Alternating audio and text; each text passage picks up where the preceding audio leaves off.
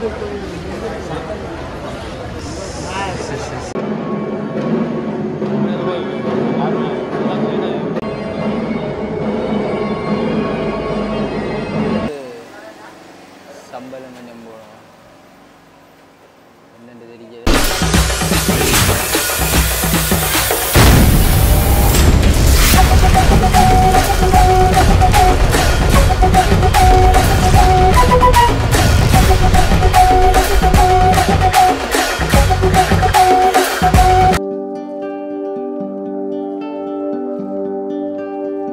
வணக்கம் நான் உங்கள் வத்சாங்கன் பிரபாகரன். இன்றைக்கு நாங்கள் என்ன வீடியோவில் பார்க்க போகிறோம்டா யாழ்ப்பாணத்திலிருந்து கட்டுநாயக்கா விமான நிலையம் சென்று அங்கு வெளிநாட்டிலிருந்து வந்தவர்களை ஏற்றிக்கொண்டு மீண்டும் யாழ்ப்பாணம் வந்த ஒரு காணொளி தொகுப்பை தான் இந்த வீடியோவில் பார்க்க போகின்றோம். வாங்க பார்க்கலாம்.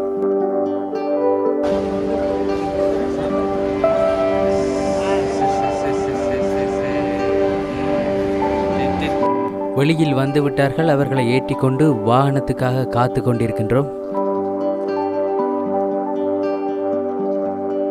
விமான நிலையத்திலிருந்து வரும்போது முதலில் ஆலய தரிசனத்தை மேற்கொண்டோம். அதாவது வந்து சிலாபம் வரும் வழியிலே சிலாபம் மாதம்பை முருகன் ஆலயத்துக்கு வருகை தந்திருந்தோம். சிலாபத்தின் பிரசித்தி பெற்ற முருகன் ஆலயமாக இவ்வாலயம் விளங்குகின்றது. அதாவது இந்து மக்கள் மாத்திரமல்ல சிங்கள மக்களும் இதனை பக்திபூர்வமாக வழிபடுவதை நாம் கண்ணூடாக கண்டோம்.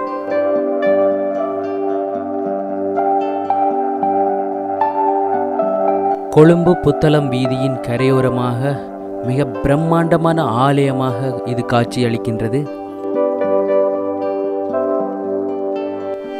ஆலயத்தின் வெளிச்சூழலில் அதாவது வெளிவீதி என்று அழைக்கப்படும் சூழலில் மிகப்பெரிய சுவாமி சிலைகள் உருவாக்கி வைத்திருக்கின்றன. விநாயகர் சிவன் லக்ஷ்மி என பல இந்து கடவுள்களின் உருவங்களை மிகப்பெரிய அளவில் அமைத்திருக்கின்றனர்.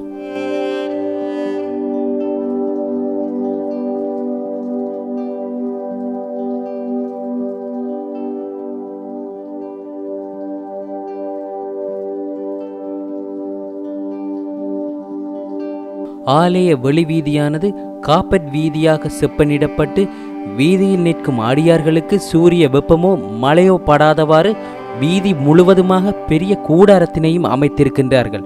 அதன் அருகிலே பயன்தரும் மரங்களையும் நாட்டி வைத்திருக்கின்றார்கள்.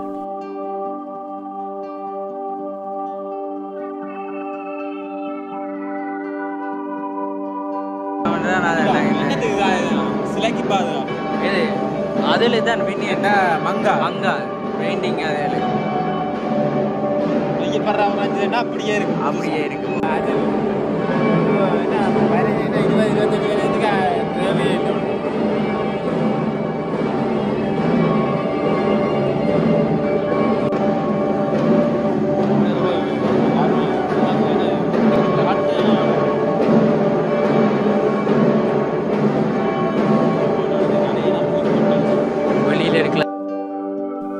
ஆலயத்துக்கு உள்ளே புகைப்படங்கள் எடுப்பதற்கு தடை விதிக்கப்பட்டிருந்தது. அதனால் உட்பிரகாரங்கள் எவ்வாறு அமைந்திருக்கின்றது என்பதை இதில் பதிவு செய்ய முடியவில்லை.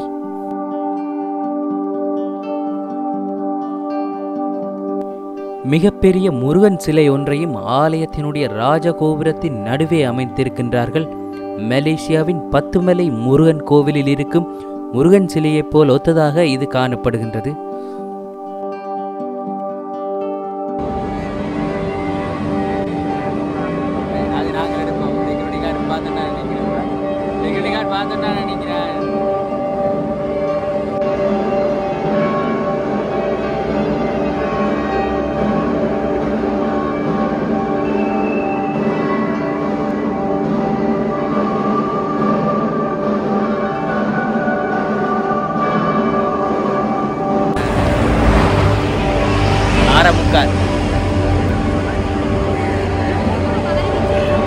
ஏர்போர்ட்டால் வந்து இப்போ சிலாப முருகன் கோயிலில் கும்பிட்டு கொண்டிருக்க மாதம்ப முருகன் கோயில்.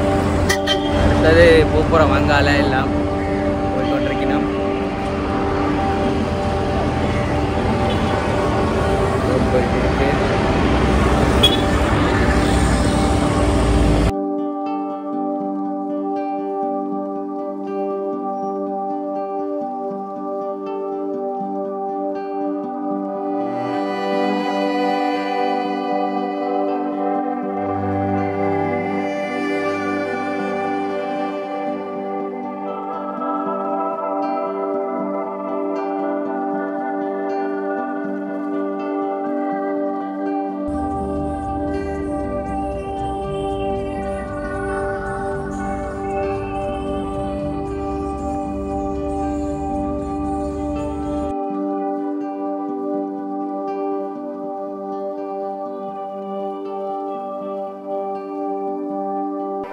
இலங்கை ஒரு மிகப்பெரிய விவசாய பூமி.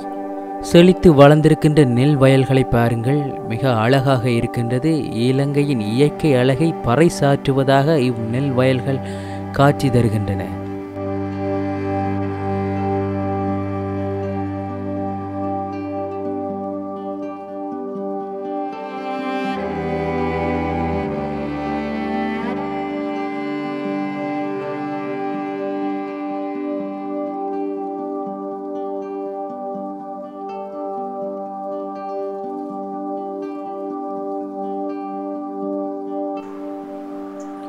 அனுராதபுரத்துக்கு வந்திருக்கின்றோம். மதிய நேரமாகின்றது. மத்தியானம் சாப்பிடுவதற்காக அனுராதபுரத்தில் உள்ள ஒரு சாப்பாட்டு கடைக்கு வந்திருக்கின்றோம்.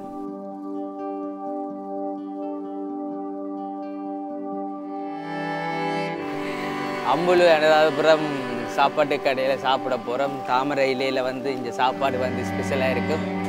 அங்கே சாப்பிட போகிறோம்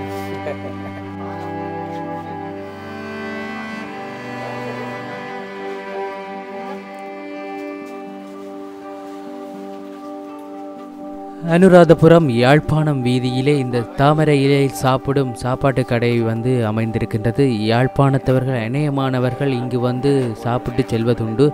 மிகவும் பிரசித்தி பெற்ற ஒரு சாப்பாட்டு கடையாக அனுராதபுரத்தில் இது இருக்கின்றது.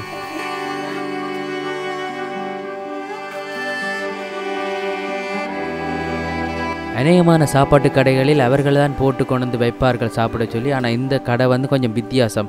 தாமரை இலையில் செல்ஃப் சர்வீஸில் தான் எல்லாம் சாப்பாடுகளும் வைத்திருப்பார்கள். உங்களுக்கு விரும்பிய உணவுகளை நீங்களே எடுத்து சாப்பிடலாம். அநேகமாக மாமிச உணவுகள் தான் இங்கே வைத்திருக்கின்றார்கள். குறிப்பாக மீன் முட்டை என்பன சிறப்பான சாப்பாடாக இங்கே இருக்கின்றது. இறைச்சி வகையிலும் கேட்டால் தருவார்கள்.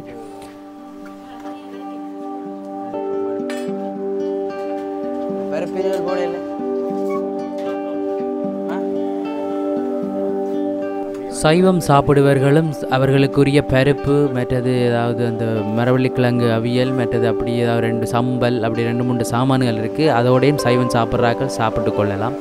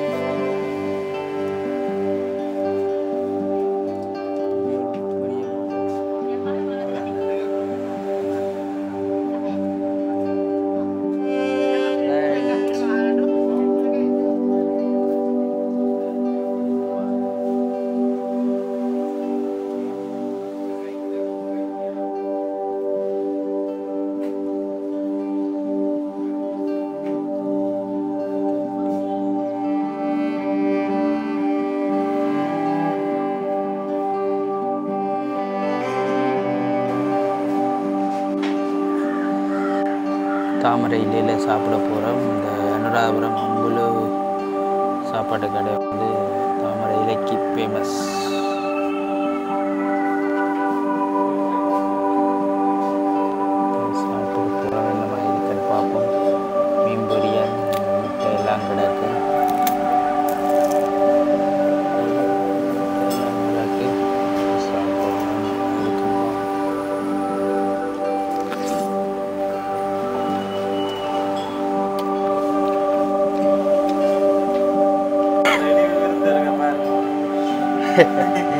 இர்ஃபான் வந்தவர் சாப்பிடாம போட்டார். என்ன செய்யறது நாங்கள் இங்கே சாப்பிட்டுட்டு ஒரு பிளேண்டி ஒன்று குடிக்கிறோம். பார்ப்போம். தாமரை இலையில் சாப்பிட்டுட்டோம். பசிக்கு சாப்பிட்ருக்கு சிங்கள சாப்பாடு எப்படி இருக்குமென்னு தெரியாதானே? டேஸ்ட்டு கொஞ்சம் வித்தியாசமாக இருக்குது பரவாயில்லை. இனி அப்படியே வலிக்கிட போகிறோம் இருந்து.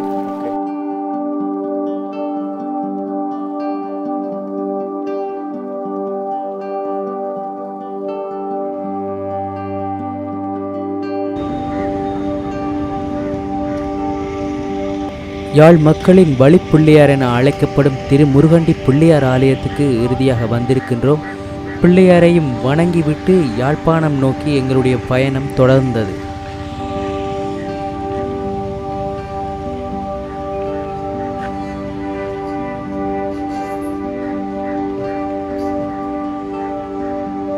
பயணம் வந்தவர்களை மீண்டும் வெளிநாட்டுக்கு அனுப்புவதற்காக கட்டுநாயக்கா விமான நிலையம் வந்திருந்தோம். இது விமான நிலையத்தின் உட்பகுதி கடைகள் மற்றும் வங்கிகள் இருக்கும் இடம்.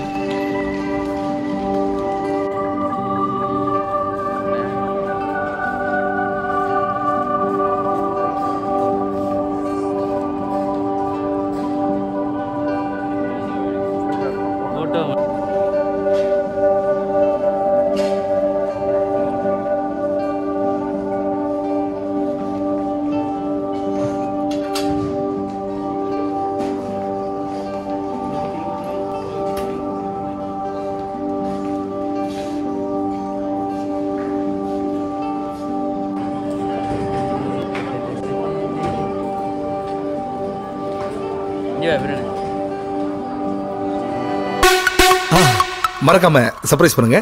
தேங்க்யூ